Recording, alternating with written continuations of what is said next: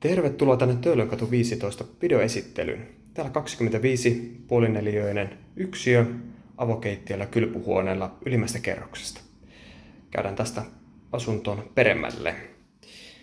Eli tosiaan tästä eteisestä vasemmalla puolella kylpyhuone, jonne mahtuu sitten oikein mainiosti pyykinpesukone, suihkuseinä ja peilikaapisto.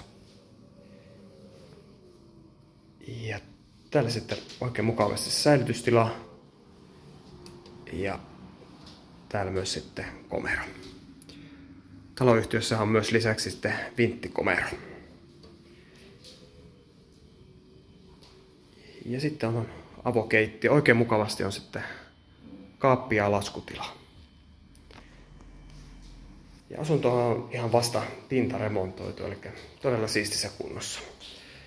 Ja ikkunan Täylyn kadulle päin, todella rauhallinen asunto. Tervetuloa tänne esittelyyn, niin laittakaa viestiä tai soitelkaa, niin tullaan asuntoa katsomaan. Moi moi!